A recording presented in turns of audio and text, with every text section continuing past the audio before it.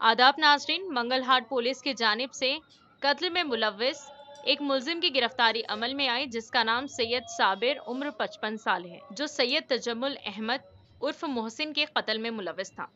इसके कब्जे से लोहे का एक पाइप, शर्ट और pant, Samsung mobile phone, Galaxy J seven जब्त किए गए।